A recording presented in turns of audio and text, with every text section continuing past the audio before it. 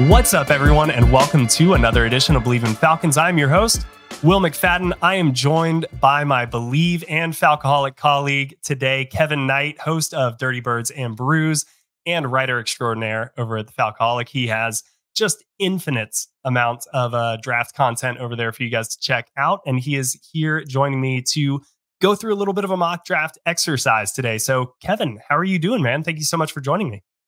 Good. Yeah, no, other than being sick and uh, hopefully will be minimal coughing fits on this one. This will be like the third pod I'm, I'm gutting through today. But uh, other than that, all good. Uh, this is one of my favorite times of the year. I love the draft content. Um, probably not going to hit 100 players scouted this year. I think that that was my record last year. Um, but you know, still, still, uh, still plenty. Uh, and the Falcons, you four picks in the top 79. I mean, it's it's going to be an interesting class. We know eight overall is very exciting. Uh, so I'm excited to get into it with you. A hundred players scouted, man. That's that was my record. Really impressive. Yeah. I, I, just really, I was just like, I need to get to 100 just to say I did it, you know, more than anything. And but yeah, no, I, I haven't hit that uh, recently. But that because you have to like full on commit to doing that number of scouting reports. Yeah, dude, so, you have to yeah. like you come out of the basement just looking yeah. rough. Oh yeah, I'd imagine yeah. after that you're just grinding tape left and what right. What year is it? what's so what's your what's your favorite position to scout? A lot of people, everyone knows that I'm like a defensive line guy. Like I've always loved defensive line play. Um, and I think most people might assume it's edge, but I actually like the interior defensive line the best. Um, I just think it's fun to scout.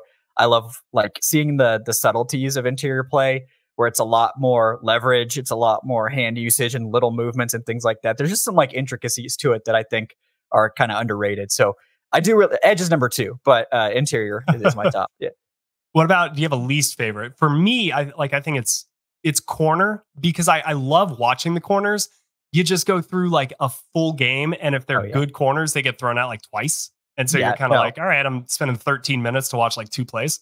Yeah, I, I don't like watching DBs. Um, but yeah, I don't I just like don't scout quarterbacks. Um, like I'll like watch the quarterbacks play, but like I don't even bother trying to make scouting reports on quarterbacks. Like it's full you know scouting. that the games are yeah. won and lost in the trenches. Absolutely, that's definitely the reason. Not that I just don't necessarily understand what I'm looking at, but uh, no. Instead, I just let let other people that are professional quarterback scouts uh, do my quarterback scouting for me, and then I listen to a lot of opinions and kind of go from there. But yeah, I agree with you. DB play is very like hit or miss. Um, to where like I usually try to pair it. Like I'll try to watch a DB and the receiver they're playing against, so you can uh, kind of get two call. done at yeah. the same time. But yeah, cornerback play is very like difficult. That was the one um, I never ended up getting to corner at Scouting Academy. Um, so that was like the one I didn't get to along with quarterback because quarterback there is like an entire program in itself, which makes sense because yeah. nobody nobody seems to be good at scouting quarterbacks anyway. But um, yeah, DB play is is very complicated. Um,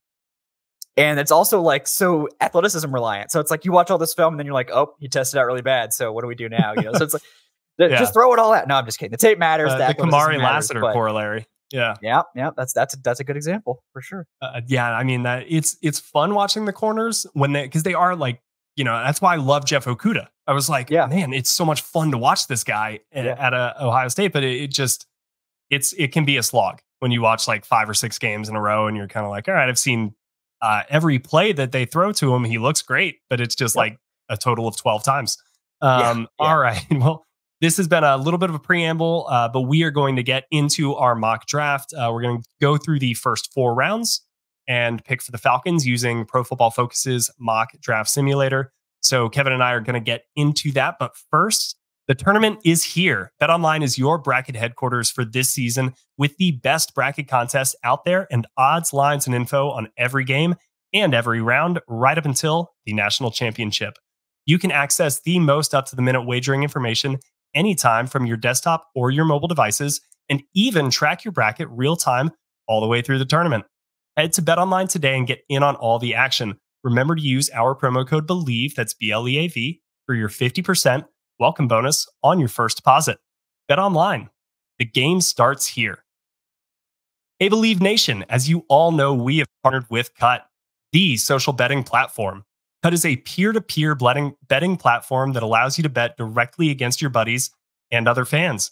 That's right. You can join the Bleav in Falcons crew and the Dirty Birds and Brews crew on Cut today. And you can bet directly against me and Kevin on your favorite sports, pop culture, and politics. Kevin, I know you love betting politics on Cut. It's it's wild how much you get into that stuff.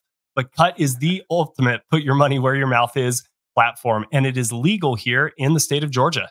Be sure to follow at CutBet on all your social media channels and download the app via the App Store or cut.com. Just use code Bleav Falcons for a 10% deposit bonus. Cut. Put your money where your mouth is. You'd be All surprised right, how much political betting you know I could I could get into. You know, if I if I get in like back in 2020, man, I, I was like you know living and breathing those house races. So I, I probably would have had some great takes on that. But uh, just just yeah. absolutely ripping through sigs and and just oh, firing yeah. off bets on the cutout. Mm-hmm. Yep, like a junkie. Oh, it's oh, yeah. crazy. um, all right, yeah. So I've got the uh, the mock draft here fired up. Um, we we were talking about a little bit of the settings beforehand, but ultimately, you know, I'm not sure how much that's gonna gonna play in because this is just a fun exercise. We don't have to take it too too seriously. Um, the goal here is is really just to talk through the strategy that the Falcons could employ. You know, where what positions could they look at at certain points of the draft? Where do we feel maybe the value is best for certain players?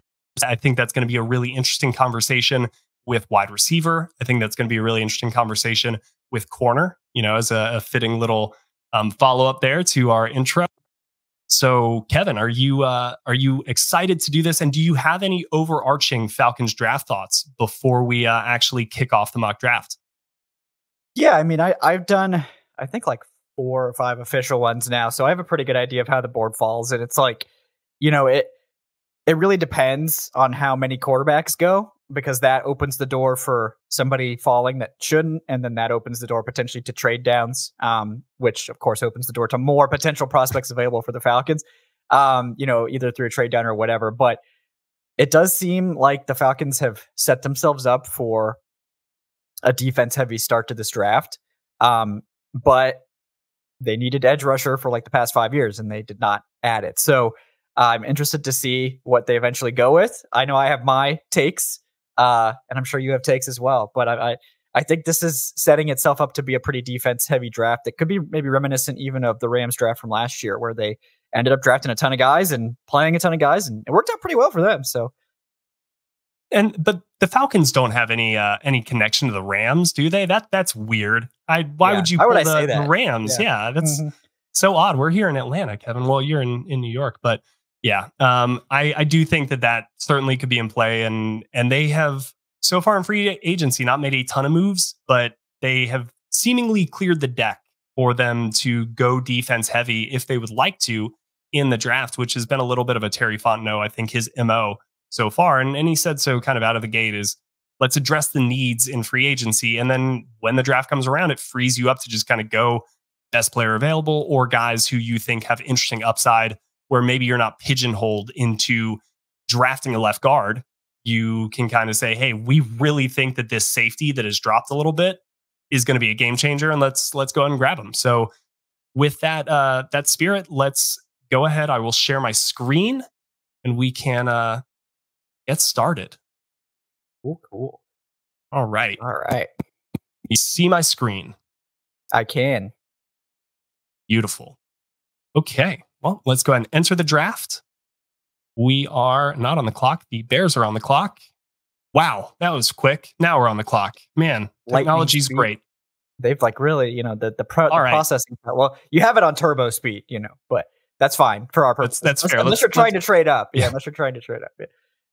Uh, yeah, I don't think we're gonna. I don't think we're gonna make any uh, any trades in this. So this will be a non-trade. However, dude. Well, all right, number two, we've already got the uh, the Washington Commanders throwing a, a big curveball and going with Joe Alt. This is a, this is a wild scenario. Yeah. Uh, this is a little bit of a, a, wild scenario. So we got Caleb Williams, number one, Joe Alt, number two, Drake, number three, Marvin Harrison Jr., four, Malik Nabers, Brock Bowers, six, and Rome Odunze. So clearly we got to go Jordan Daniels here, right? this this reminds me of like uh like what the mocks would have looked like before the season ended, where like Jayden Daniels was not like thought of as a top 10 player and like mm-hmm. Brock Bowers was considered like a top 10 lock and he still very well could go in the top 10. So, I mean, this the commander is going Joe Alta too. Probably not going to happen, but we're we're we're not doing any trades. But he so he probably yeah. will go before the Falcons pick, oh, right? Yeah. So like I, I think outside of Brock yeah. Bowers, if we swapped him and Jayden Daniels, it's not inconceivable that these are the seven players that go before the Falcons actually pick at eight, right? Yeah, I, th- think so. And, and ultimately, it's like we're not going to try to trade down. Obviously, if Jayden Daniels still here at eight, Falcons are probably entertaining crazy offers to trade yeah. down. Um, but also, you know, the teams ahead of the Falcons would have also had those same offers come their way. So, um, you know, we'll just sort of operate under the assumption that the players on the board here are, you know, notwithstanding quarterbacks are the ones that are available. And I, I think this is a pretty good snapshot because ultimately, like the wild card is does one of the wide receivers fall? And and you know, to me, Malik Nabers would be the one that I would consider. Um, it's also another trade down opportunity if Malik Nabers or, or Odunze is there.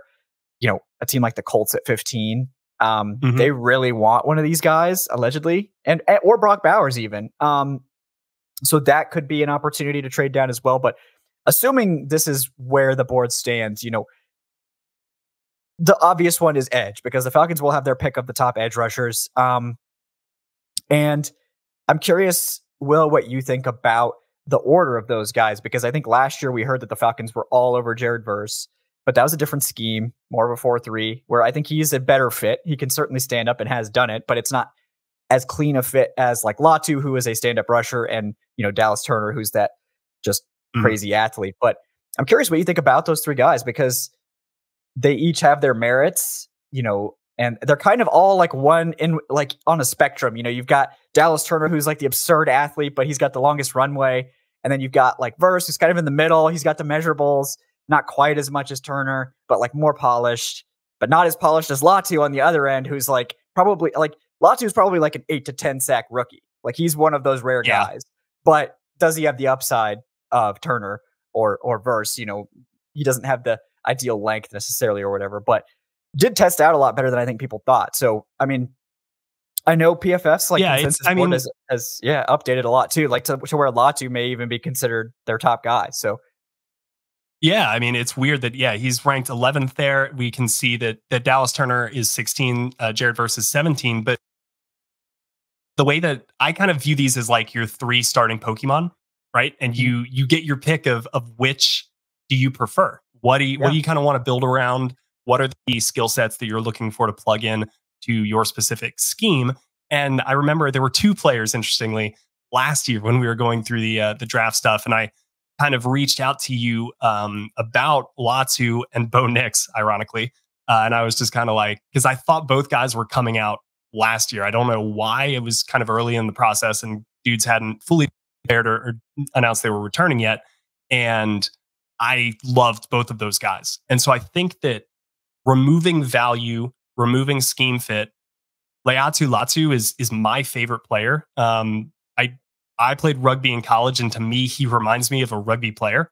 Just that that kind of natural athleticism in space, but then through contact, the way that he carries and continues his um, power, and you never really see him feel like uncomfortable or uh, thrown off guard. He looks like he always has a plan of attack, even when that uh, plan of attack kind of doesn't go the way he expects it to or is countered effectively.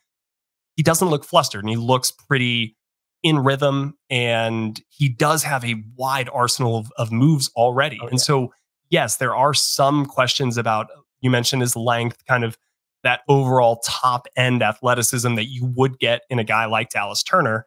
But we've seen that before. I mean, I, I was reading some of the comments um, on the Falcoholic last night, and, and a lot of people were bringing up Vic Beasley and his combine performance and just the incredible specimen. And like, I saw him in the locker room. Dude was absolutely jacked, like, looked like superhero.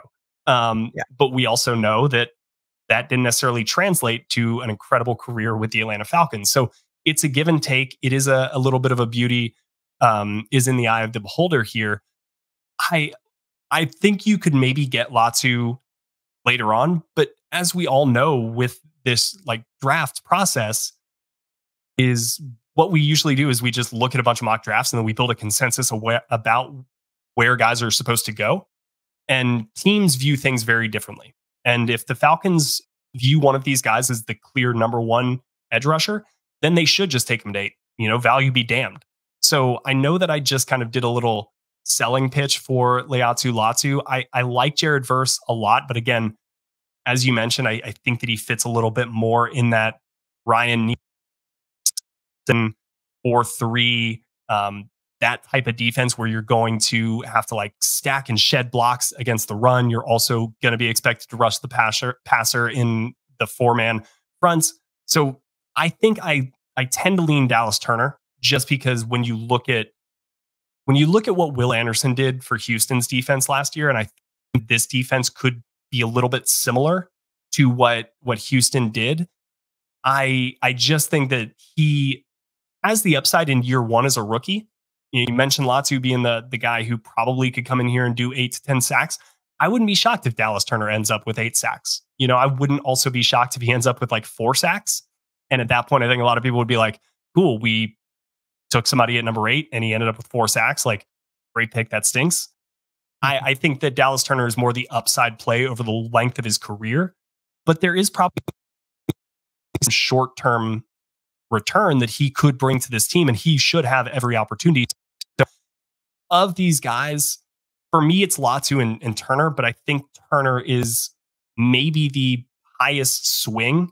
Um, even though in year one, Latu may be the better, more productive guy. And so if Falcons are are really in on 2024 and a short term window, maybe Latu is is the way to go there. But are you sold that it's going to be edge here in the first round, or you know, could you be talked into a Terrion Arnold, a Quinyon Mitchell, one of those guys, um, or even another position in general? Like, is it solely edge for you, or could you be persuaded to go elsewhere? Yeah, I mean, I think cornerback is the other one that is probably the serious conversation. Um, I I just don't see these corners as being top ten guys. I really do like Quinyon Mitchell, um, so he would be the one I would consider the most. Terrion Arnold would probably be number two for me. Um, I like Cooper DeJean a lot too. He's super versatile, but I do too. To me, it's just like I don't think they're top 10 caliber. So if you trade down, like that's the thing. And that's part of the reason I think a trade down is very much on the table because if the Falcons like Latu and Quinyon Mitchell, and they trade down to like 12, they're probably going to get one of those two guys or, yep. you know, Dallas Turner or somebody else. Um, so they've got options and, and a lot of these guys are pretty close in ranking. I also do think like if Malik Nabers is there at eight, that that's going to be hard to say no to unless they mm-hmm. get a haul and a trade down just because I think he's like a top five caliber. Like if not for Marvin Harrison Jr., he would be talked about as like a top, you know, three caliber player. But Marvin Harrison Jr. is here, so you know he they're not going to be in contention for Marvin Harrison Jr. But uh, Malik Neighbors is a great compliment to what Drake London brings, um, and you know yes. that with the offense being clearly a point of emphasis. I mean, I, I wouldn't count that out, but to me, you know, Jared Verse is probably going to end as my number one overall edge player from just grade. But in terms of fit for the Falcons, I agree that he's the least the least good fit. Um, to me, like what it comes down to is, you know, how much do you want to bet on being able to develop Dallas Turner? Because he's going to be a designated pass rusher this year. He's not ready to play the run. He needs to gain weight. Um, and he's just pretty raw. He's not like Chop Robinson levels of raw. Like, don't get me wrong, but um, yeah. he's he's a, a, crazy athlete. His fr- like he's like Vic Beasley if Beasley had arms that were two inches longer, like and was also more athletic. That's who Dallas Turner is. So like Turner kind of answers the questions that Beasley's profile had, which is lack of length. Um, and he's also more athletic. So it, pretty absurd, obviously, to think about that, but I've seen so many great athletes come and go in this league. Um, and this isn't to say anything about Turner's character or ability to be coached or anything like that. We just don't know the guy. But to yeah. me, if I'm staring at an eight to ten sack a year player in Laiatu Latu, I and you're looking at the timeline the Falcons have to win over the next two to three years. I to me, I actually do think Latu is the one I would pick. Um, and let's I do it then. Let's do it. Let's do it. Let's do it. Yes. Um, and I, I honestly think that the Falcons will probably take Latu as well. I know everyone thinks okay. that they're going to want to develop an edge, but like Latu's testing. Dog, look at that grade. it's absurd. Yeah. Yeah. Yeah. 45 hurries last year, too. That's nuts. Um, yeah. It, Latu's testing closed the gap between him and Turner athletically. Like, yes, Turner is a better athlete, but like Latu's RAS is higher because Latu has better size. He doesn't have better length. Latu has like 32 and 5 eighths arms, which is like just slightly under threshold. It's not like bad. It's just not good. Like typically you want 33 or more. But I wonder if that matters also, as much as a stand up edge rusher though. With, without being it, like right there on the line, you know, can you can you negate that a little bit because you've got a little bit more of a runway before you actually engage with a tackle? So yes, and he is so technically sound. This is the most advanced college pass rusher I think I've ever seen. So like yes, like the the length is not going to be as much of an issue for him as it would be for a lot of guys because he just knows how to play. And to me, I as as nice as it is to go for the ceiling, and NFL teams, no one's more confident in their ability to draft to to develop players than NFL coaches. Like that's why they're where they are. Um, yeah. But NFL coaches are wrong a lot. And to me, if you're staring me in the face with a guy like Latu who is ready to go and you have this immediate screaming needed edge. And and maybe they do make a trade for like a Haason Reddick or something to where they could afford to have someone like a Dallas Turner work their way in a little bit faster. Or like have more of a runway to having to, to play. Maybe that leans to Turner a little bit more, but just Latu, like he's a fine athlete. Like, in fact, he's an elite athlete. He's just not like Dallas Turner levels of, of absurdity. And I think you're just splitting hairs when you're trying to like maximize the profile to that extent. I, I don't see any reason Laiatu Latu can't have a TJ Watt like career, you know, and I'm pretty sure that's um he's been comped to TJ Watt. I think it was either by Zierlein or maybe PFF. But um, you know, TJ Watt also tested great, but not like amazing, like 10 out of 10 testing. And it hasn't like that level of difference is not going to determine whether you're a Pro Bowler or not. You know, it might determine if you're like the number one overall edge rusher in the NFL or not.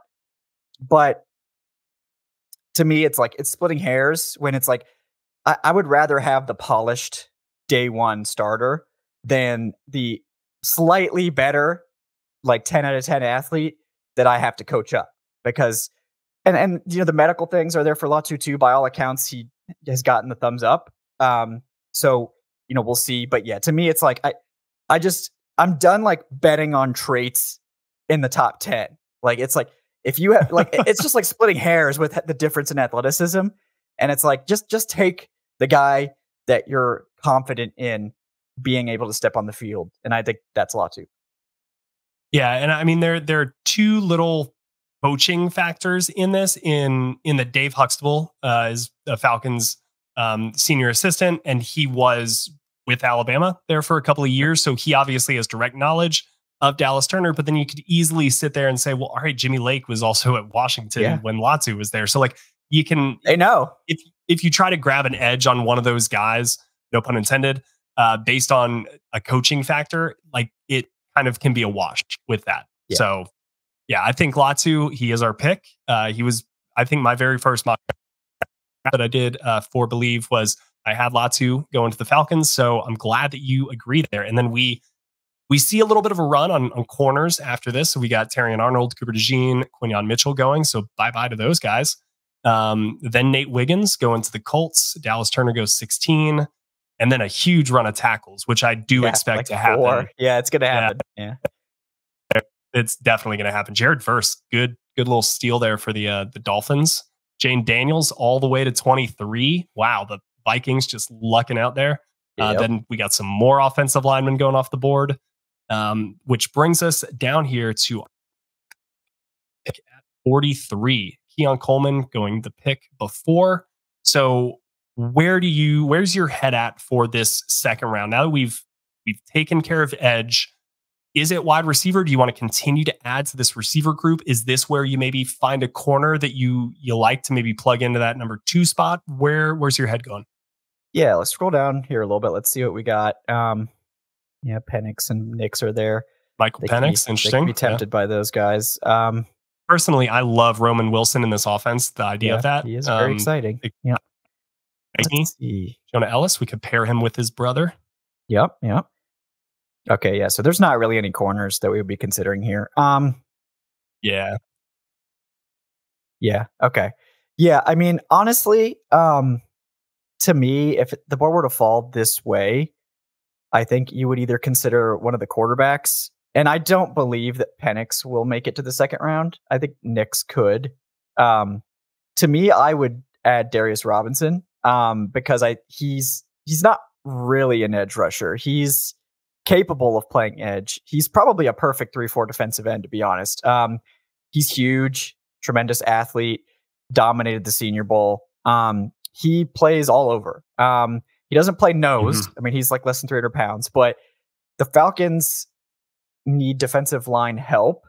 Um, and I think you know, I, I, like Braden Fiske a lot, but he's gone. He actually went earlier than Robinson, which is kind of interesting. I know some people say like, "Oh, you should just double up on edge and take Chop Robinson." I, I'm scared by Chop a little bit. Um, I don't, scared. I don't like raw pass rushers. Now in the second round, it's not so big a deal, but um, yeah, to me, I would probably go with one of the quarterbacks or with Robinson um, because I do Darius Robinson to be clear because there's two Robinsons right next to each other. Yeah. Um, just because I, I think you can never have too many good defensive linemen, and we know that Grady Jarrett's coming off that ACL tear. It may take him, you know, it was a little bit earlier in the season, so hopefully he'll be back to full strength, but he may need a little bit of time.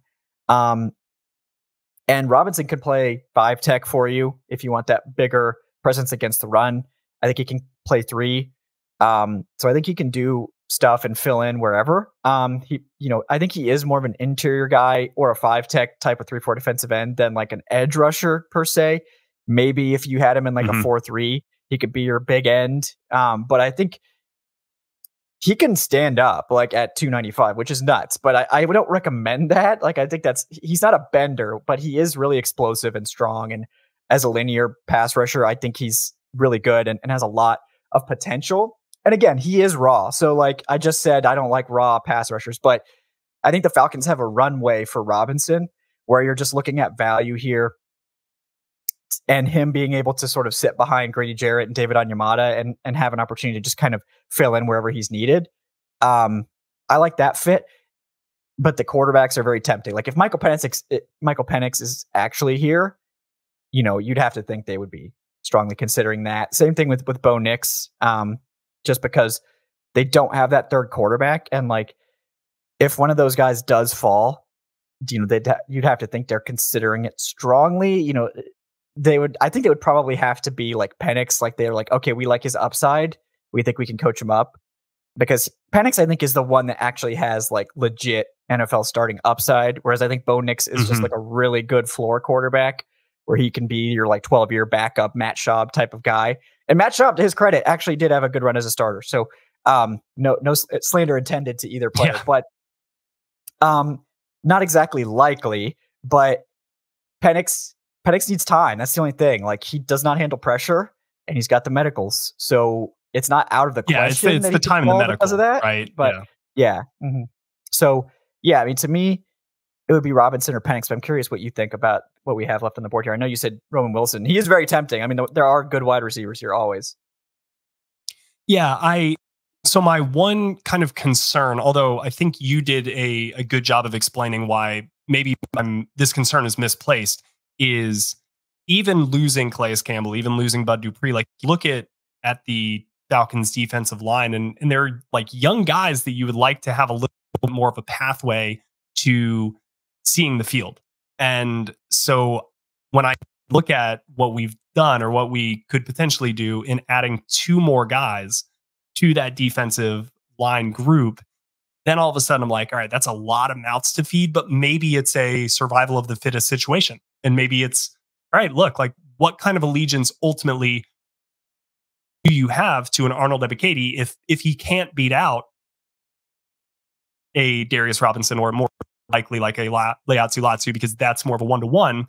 And when you when kind of you think about it, they, a lot of the young guys that they have are more of those edge rusher types. Whereas you accurately pointed out, Darius Robinson is more coming in here to probably fit with Grady Jarrett and David Onyemata and Zach Harrison and be that type of interior three four lineman as opposed to your outside edge rusher. Um, so reason like I I think that if you and and looking at the board and particularly looking at this needs thing, how nice is that that the Falcons are just very simple two needs listed.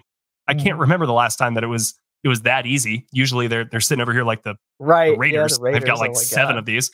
Yeah. Um, so from that standpoint, it is a little bit of a you can go in whichever direction you prefer. And if you feel like Darius Robinson's ability and again that versatility, because that is going to be, I think, a key part of this defense is having those simulated pressures, having guys who can do a little bit of of different things so that post snap you can start in one spot and end up in another. And you need to have guys who are comfortable doing a, a variety of different things. And Darius Robinson isn't your your typical like edge rusher who can then drop into the the flat zone and, and do different things. I do think he brings a level of versatility that would be very beneficial in this defense. So I'm right there with you. I, I think that when it comes to the quarterback question, right, you, you really got to believe that one of these guys is truly going to be a franchise quarterback one day, right? Because otherwise, having Taylor Heinicke in place and then draft um, if he's just ultimately kind of a backup quarterback, using the logic that we did to to draft Latu, that was a little bit more of a short term. Let's go ahead and get a dude on the field who we feel can help us in 2024 and be part of that, that into the playoffs. If you're drafting Penix, that's going in the opposite direction, right? That is saying mm-hmm. we believe that in two years, when hopefully Kirk Cousins has delivered two Super Bowl rings to the Falcons and then is sent off in a blaze of glory, that then he is ready to to step up and and continue that winning trend, then that's worth this pick, in my opinion. But if if there's any question of whether he can be that, and to me, the medicals worry me a little bit because that is something like some players come into the league with that big injury history and and it never really impacts them. You never see yeah. it pan out and and it's really good and and somebody ends up getting a steal because the medicals dropped them down the board. Other times it's hey, there was a red flag there for a reason and their career ends up cut short or either not the player that you expected them to be at this level because they are hampered by those past injuries. So that's kind of my I I don't doubt Michael Penix's ability. You know, I think the last couple of years have have more than proven that he is a really good quarterback. And if he did not have red flags medically, like he's probably a top 10 pick. It's it's easily, I think, him over JJ McCarthy in that kind of fourth quarterback spot. So it's great value here. And then the wide receiver, seeing these receivers still on the board makes me a little bit more um, able and willing to kind of say let's let's wait on wide receiver. Yeah. And maybe because I do think that this could happen as well. If there is any one position is is, I could see that them slipping down the board just because there are yeah. so many good receivers. So many. That yeah. teams would prioritize those offensive linemen, these edge rushers, the corners, things like that, where there are maybe fewer guys. So I'm right there with you. I think it's Robinson or Penix for me. So the question is, Kevin, do you just want to juice up this 2024 2025 team? Or do you maybe want to do what this franchise couldn't previously and get that heir apparent, give him the time to develop in this offense under a quarterback who you know, can be a little bit more of a mentor figure? Where where do you think the uh, the wise move is? I mean, I think it it's probably going to be Darius Robinson um, and going for that more win now window because again, you've got Cousins here for two affordable years, maybe a third or a fourth if you want to pay the premium. And again, Michael Penix, it makes sense for the Falcons to draft a developmental quarterback. I don't know that this class is the one to do it in.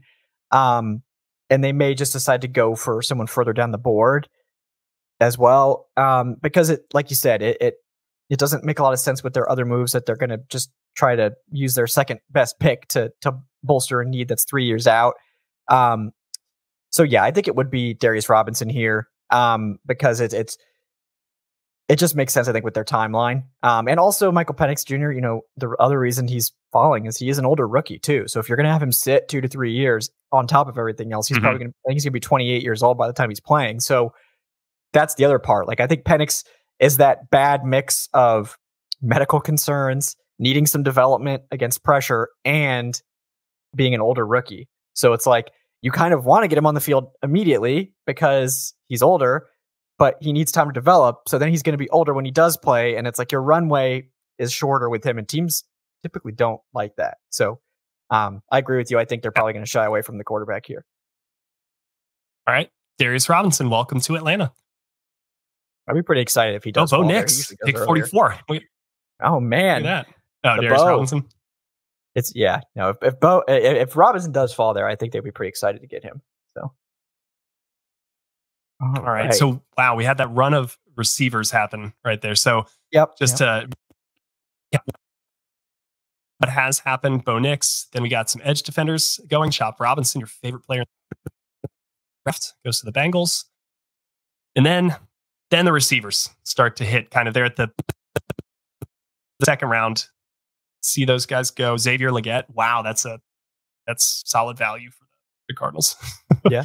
Getting him at 66 yeah. as Walker. And in, mm, yeah, in my last mock, um, I had the Falcons trade down from 12 or to 12, and then I had them trade up to 60 to get the wide receiver they wanted. So I think that they could definitely consider doing like something like that too if there's a wide receiver they really like in that range because they a lot of them do tend to go here before this pick. Now there's still plenty of wide receivers. That's the other thing.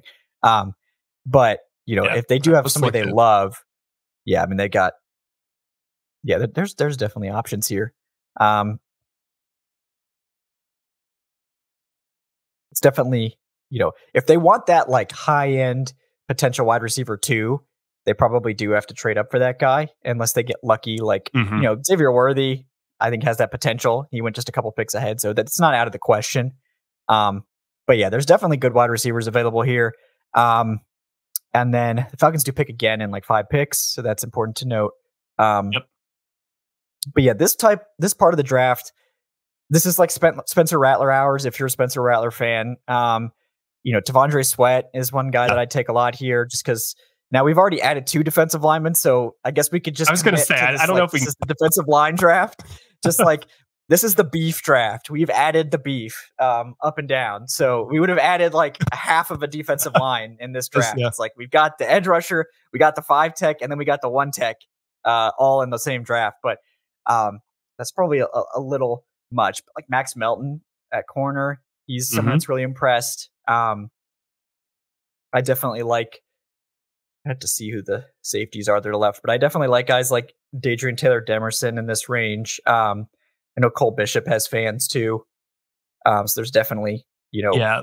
options Luke there. Easterling, who I I spoke with earlier uh, last week on the pod, uh, he had Renardo Green going to the Falcons.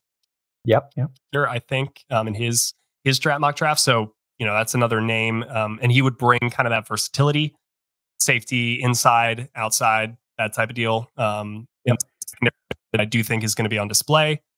Michael Hall Jr. still here, but same same issue with kind of just going defensive line. Yeah, we kind of like um, address the interior with the uh the Darius Robinson pick. So, I mean, I think like with Sweat, you know, yep. they don't really have a nose, so it's like you could probably still pick there, but that would be a lot of beef. Like, I don't know if these guys are all gonna be able to fit on the plane back to Flowery Branch after the draft. Like, so we might have to spread them out a little bit. Um, especially Sweat. Like, yeah. so uh, is he's, it? He's a host. Yeah. Yeah. No, he's. I but they do need kind of, I think that that guy to plug right there in the middle. But again, just given the way that this this draft has gone, you know, I think we can go in a, a different direction. Yeah, and if, if Sweat wait. is there at seventy, then then maybe that's we circle back around. Um, what are your thoughts on Spencer? Yeah, let's see. No, I'm not too concerned about the interior anymore with the Robinson edition, but um, you know, I think Max Melton certainly one to consider. Um, if you have if you like absolutely love one of the wide receivers near the top, there's like a slight chance one of them might go before 79, but not a huge one. Um, um yeah, I mean, to me, I think it's like if you love Spencer Rattler, if, they, if you think he has a good developmental timeline, um, you know, that could be an option here at 74. I think uh also Max got Michael Melton. Pratt. That's right. Yeah. Um yeah, I think to me it's like I like I usually like to go like either Malachi Corley or like uh, Brenden Rice at 79. Um, you know, very different types of receivers, but I think both of those guys usually make it there. Um, you know, Max Melton probably will go before 79. We're looking at corner, but again, those FSU guys are still there. So um, the only thing about the mm-hmm. FSU guys is that I think the Falcons are going to play like zone, like lots of zone, like zone yeah. primary. And both of those guys were tremendous man corners, but they just didn't do much zone. Um, so it doesn't mean they can't play zone. It just means that it, it might not be as clean a fit. But again, it, I, am pretty confident that they can play zone if you ask them to. It's just like they didn't do it a ton, and they didn't do it. They were like elite man coverage corners. Like their their coverage grades yeah, and man like, were absurd. So get their hands on guys, so. run with them, stick in their pocket. Yeah, yeah and this is going to be a little bit yeah. more. If it is man, it's going to be off man, or unless you're doing that maybe cover six and they have a cloud corner. But I would expect that be a rel anyway. Like you're going to probably put your best corner there on on kind of that island with a guy. So that that is you're right. Malachi Corley is is an interesting guy as well. Like he is somebody who I've I think I've looked at around this spot just as that type of you know, do a little bit of everything, get the ball in his hands, let him run. You could be doing those uh, those jet sweep motions. Um, that type of of athlete. I you know, isn't Deebo Samuel the yeah. guy that he yeah. he gets comped to a lot. Um, so offense, like I, I'm of two minds. I could see them going either in that direction or going with um, like a uh, Malik Washington Malik or a smaller dude in that slot mm-hmm. and kind of that type of, of prototype or not prototype, but that body style in the in the slot. Just a, a small dude that Arthur Smith wouldn't go near uh, with a ten foot pole, uh, as opposed to really just big bodied running back at a wide receiver position. Um, do you have a preference for soft? Yeah, I mean, I love Corley. I think he's good. Um, I know Aaron Freeman's like a Malachi Corley hater, so if you're listening, Aaron, you know you're just wrong about Malachi Corley. But um, I do think he's a little bit superfluous in Atlanta. They, they, I think Bijan's going to do some of that stuff for them. I also think that they signed Rondale Moore, um, who's also going to do some of that stuff for them. So maybe they just want like three guys that can all do that and just have absolute chaos. But um, I tend to think, and this this changed after they signed Mooney and the guys that they brought in. But I tend to think they're actually going to go for more of that outside, bigger receiver. Um, instead of a smaller guy. I, I could still see them adding a slot specialist, like if the right one is there. Like if Ladd McConkey fell to 43 or something, I think they would jump at the opportunity to do that. But um, I would I found myself like leaning more towards like Brenden Rice and stuff later. Um, just because like, you know, you can get Rice at 79 without problem. Um, and it, it it gives you another like big receiver because honestly now it's like the opposite. It's like before it was like, oh, we have all these big guys and no speed. Now it's like we got all these little guys, but if Drake London gets hurt, like Kyle Pitts is the only tall guy, like physical receiver we have left. So I think Brenden Rice could come in, you know, and maybe we could make that the pick at 79. You know, it kind of makes sense to talk about both picks because they're back to back. Um, you know, I think we could do For Rice sure. probably at 79 or someone similar to that. You know, I, I wouldn't argue with Malik Washington either. I know he's lower on the board here, but I think some teams will have him in this third round range for sure because he's just a, a slot specialist yeah. and he's very, very good at that. Um, but again, he is a smaller guy, but I don't necessarily see a problem with that in this offense. Um, but yeah, I think at this pick, it's probably corner just because like I feel like those guys are going. And once you get past like Max Melton, you like Max Melton and like the FSU guys, and like maybe if you like if you like Cam Hart, which I do, but he's more developmental, then it's like it really drops off yeah. a lot after that. So, um, you're not a big yeah, Kalen I, I King Max guy. has a lot. No, I was until I saw the testing. Um, and then I was less. Everybody was, was until they saw that tape. Yeah, yeah. Um, I like Caelen Carson from Wake Forest a little bit later, but I think his upside is like good cornerback three. Yeah.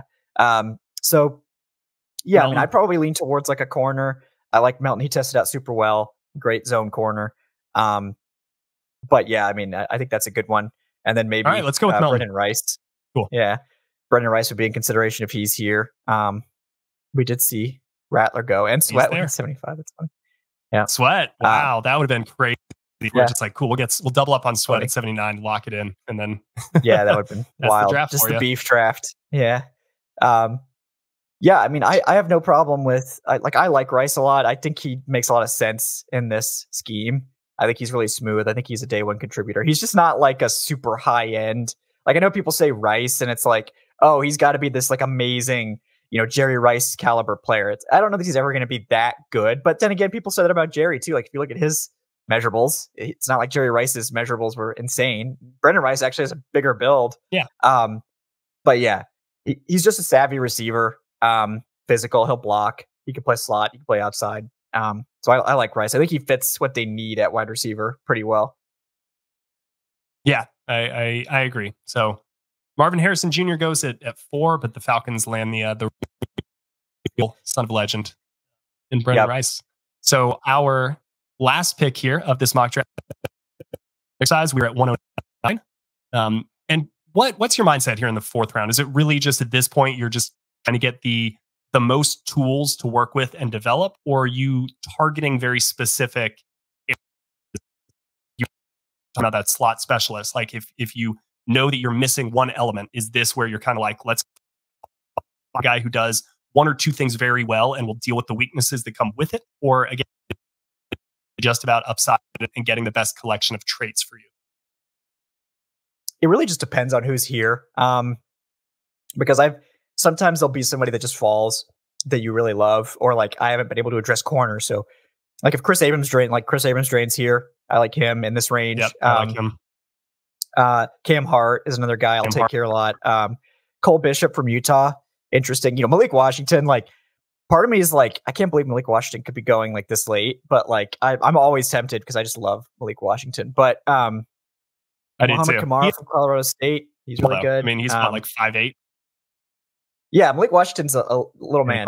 Um, but yeah, I mean, to me, it's like d- the strength of this draft is wide receiver. And do the Falcons like need to load up on wide receivers? Probably not, but they've got a lot of day three picks. They ended up getting that sixth back from the Eagles that they sent for Kentavius Streets. They have that pick too. Um, you know, for the later rounds, and it's like maybe you don't need to. You know, I could see them doubling up on corner. I could see them going for like a Cole Bishop at safety if they wanted to address that. You know, th- again, this is a spot where you're kind of looking at like, okay, what kind of like developmental guy do we want? I know that Jacob Cowing has a lot of fans, super fast. DJ James, good cornerback. Xavier Thomas, for, former five star edge rusher. If you if you want to develop mm-hmm. somebody, hey, they um, did that with Zach Harrison last year. That's right. Um, yes, I mean you could go in a lot of ways here. Um, to me, it's like I kind of lean towards Cole Bishop at safety just because they, they they still do need depth there. But I also just love Malik Washington and would just find ways to get Malik Washington in Atlanta if possible. Just because, like, he's so underrated. Like he's actually PFF's number one college receiver from last year. Um, like actually number one. Um, and overall uh, in receiving grade, I think he was number one. So, um, 1384 yards. I mean, he caught 111. And I was, just I was looking hog, at, um, like, yeah, there was a, a piece on the 33rd team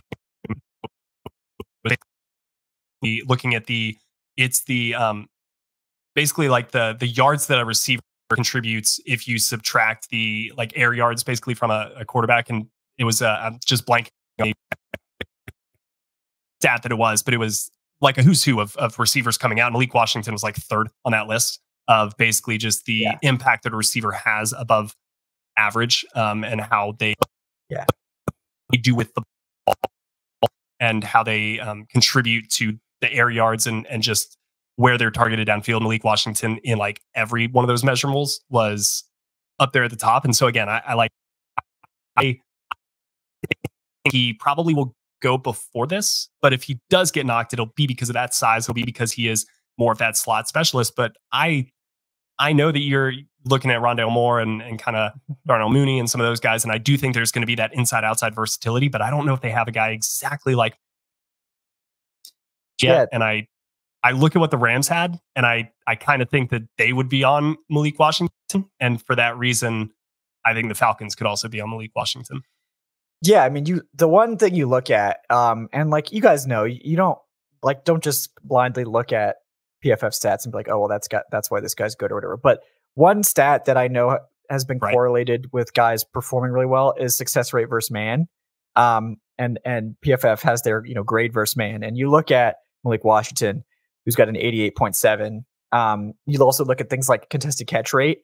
for a guy that's five eight, having a contested catch rate like above 60 is pretty absurd. Like he has phenomenal hands. 2.6 like this man had a 111 catches, almost 140 targets and dropped three passes. Like that is absurdly good hands. Yeah. Um 3 3.15 yards per route, not yards per target, yards per route. Every time this man stepped on the field it was like 3 yards like on average. So um I think you look at all of his stats and everything that he does and it's just like I think this guy is like an exception. Like he is a special, unique slot specialist. Um, from Georgia. I think, yeah. There you go. Bring him home, Lawrenceville. Let's go. I didn't. That's one thing I didn't know. learn something. Yeah, bring him home. Bring him home. Yeah. TF. Yeah. No, I mean, I I think you just do it because. All right. This is a deep receiver draft, and like you're gonna have to pay Drake soon, and you're gonna have to pick Kyle even sooner. So getting cheap, good wide receivers to complement what they have that they don't have to pay for a while, that D plus is just insulting. Um, but right? you know it for Malik. Yeah, I mean, come on, I don't, I don't believe it. We still get a B plus. I think that the, the lower the pick, the less they care. But they love um, that Darius Robinson pick because I, I, mean the value is great. Yeah, they do. Yeah, it is. But um, yeah, to me, it's like you add right in like the heart of this receiver group. You're not getting like the top guys or the like high end wide receiver twos, but you get, I think, a guy in Brenden Rice that can complement what Drake London does well, play the red zone if you need that, and be Drake London's backup. That's probably what he's going to be this year for the most part. Um, yeah. Because they don't really have anyone to play that role. But I think perfect role for him to play is sort of Drake London's backup. If Drake has to miss any time, they don't have to change the offense drastically. And then I think you let Malik Washington duke it out with Rondale Moore for that slot job. And and you know, Rondale Moore is going to be more of that like absurd athlete, and he's probably going to do more gadgety stuff. But like Malik Washington is just he's so smooth. He's ex- crazy explosive too. Like I was looking at his yeah. RAS a second ago. He jumped 42 and a half inches. He's five eight. That is absurd. yeah. That's like you could put like, me on me, you could put me on two benches and I couldn't jump that high. Like you know. he he is like he fills on the one hand that like Justin Hardy role, but he's mm-hmm. much more explosive than that. Yeah. But he yeah. is like kind of that, hey, it's it's third and four, and we need to give a breather to Rondale Moore. We need to get like get out there and, and we're gonna have you just run that five yard quick curl, put it low, go get it in the dirt yeah. and get down. And like he would be a, a sure-handed, kind of trusting receiver. But again, he brings a lot of that explosive athleticism where there's the yeah. upside to do more. And maybe he runs away from defenders on that like over route on those drags against man coverage and you get the ball in his hand. So it's weird. I feel like we were coming away from this draft being like Malik Washington, man. We're oh, I just love Malik Washington. This like is the Malik Washington show. Yeah, no, I don't care yeah. about getting pass rushers. I just like Malik Washington. No, but yeah, yeah it, I I like it because it's he's that just reliable chain mover, and you you see this every year. Like a guy goes like early on day three and ends up being like a thousand yard receiver. You know, like Puka Nacua is like that. I don't think he's going to be a thousand yard receiver, but right. like for Atlanta this year. But like he's exactly that guy that the Rams target. Like, yep, great, polished chain mover at slot, and he's even more than that because he is explosive. He has great contact balance, and like he is five eight and a half, and like under two hundred pounds, but he has over 30 inch arms. Like he doesn't have short arms. Um, his arms are fine, especially for his size. He's got kind of long arms. Hit that elite six eight seven three cone. Um, 19 reps on the bench which usually it's Damn. the guys that are under like for a receiver that's elite like that's elite that's, so he can block that's huge like, i mean yeah so you know explosive 447 it's not even like he's slow so th- this is why i think you and i are like he's probably going before this pick but you know some teams let's start you know, the draft over and yeah. we're going to take malik washington at eight yeah, actually, I've just this is what this show is confirmed is that I just love Malik Washington and I'm just gonna you know draft him at eight. Uh, but no, I mean we should probably talk about the the other picks like you know I don't know, Laiatu Latu and Darius Robinson to bolster the defense or something, you know. I, I'm happy. I'm happy with with where yeah. we ended up. I think getting a couple of guys on the defensive line, um, both of whom should be immediate, like day one, if not, you know, starters, role players at the very least, um, but big time role players. Max Melton would come in here, and is he like a clear day one? You're plugging him in at, at your number two corner spot? Maybe, maybe not but he will definitely be in the mix. And I could totally see in training camp, it's day four, he's got like his first pick and puts together a huge kind of day and we're sitting there talking about like, man, Max Melton, like he could be a real steal there. So I like that we go defense early, but again, you're the crown jewel of this draft is the wide receiver position. And I think coming away with a couple of different types of wide receivers, and and that was a big Raheem Morris thing the first time around, was yeah. they wanted clones of the starters. So that if Julio Jones had to come out, the person they were put, I mean, you can't clone Julio, but that the body type, the abilities, the athleticism, like you want to put somebody out there that's as close to the starter as possible so that you, on the one hand, don't have to really change the offense too much. You know, kind of what to expect if you're the quarterback playing to play out, regardless of who's in there. But also because you just have those elements that you prioritize in your offense that really make it hum.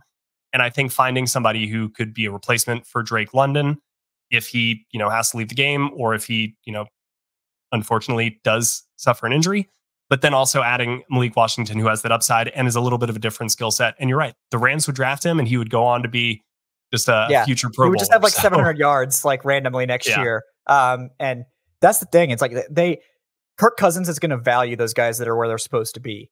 Yes. Um, Rice, great route runner, very polished receiver. He's going to be where he's supposed Smart. to be. Mm-hmm. Uh, Malik Washington, very polished, great route runner. He's going to be where he's supposed to be.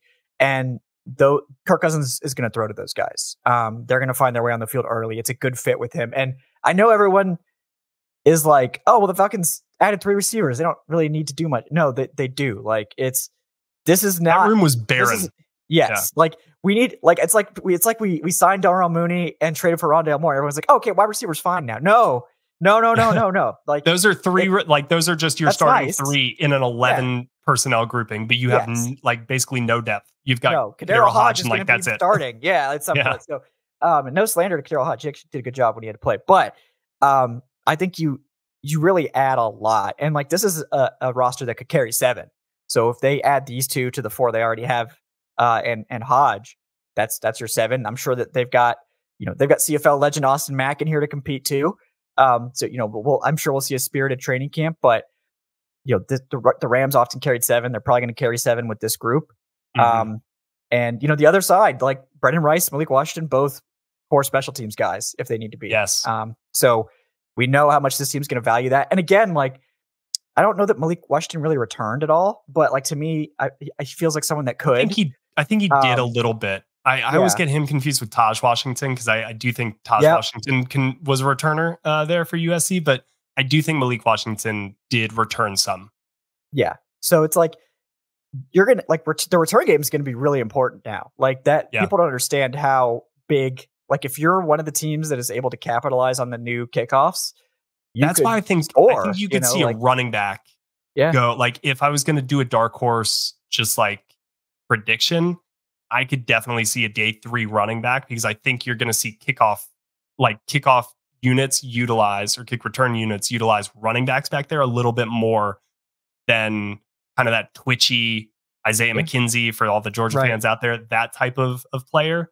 Um, because it is going to be a little bit more of a red rover. Like you hit that first line as hard as you yep. can and break through it, and and maybe nobody else can get you. So yeah, yeah that that could be a, a different element and skill set for sure. But Kevin, I know we've run a little bit long here, so I'm going to wrap us up quickly. But do you have anything uh, that you would like to promote before I get us out of here? Yeah, I'll have a uh, on Friday. Um, the the in the last days of March here, I had Trevor Sikkema on to discuss some of the similar stuff here, where the Falcons could go at eight. Um, also got some really great insights into Raheem Morris um, and some stuff about his time in Tampa that I think Falcons fans probably aren't as aware of, and and sort of the, the I think you guys have heard some of the rumblings of the context behind his surprise hiring and then subsequent firing a few years later. But uh, Trevor actually did uh, gave some great info on Raheem and and why he thinks that you know Raheem is a great coaching candidate for the Falcons and he's very excited. And also, you know, we talked about the draft a lot, but uh, that was unexpected to get some Raheem co- uh, conversation in there. So that uh, that's coming out. And then um, our first live mock draft for the patrons and channel members will be uh, Monday. I think it's like April second or something uh, in the evening. So if you're if you're one of those or want to become one of those, join us for our first uh, live mock draft with, with the fans. Heck yeah, I, I, can't wait for that. I will definitely check out your uh, conversation with Trevor. Uh, he definitely he knows his stuff, um, and I know Luke Luke Easterling was was high on the Raheem Morris hire as well. So those Tampa guys are just jealous Crazy. of Raheem Morris yeah. coming here to mm-hmm. Um, but again, thank you so much for joining me for this mock draft exercise, Kevin. Today's episode was presented as they all are by Bet Online. That will do it for us today. Thank you guys so much for listening. Keep your eye on the feed for the next one coming up. But until then, everybody, take care.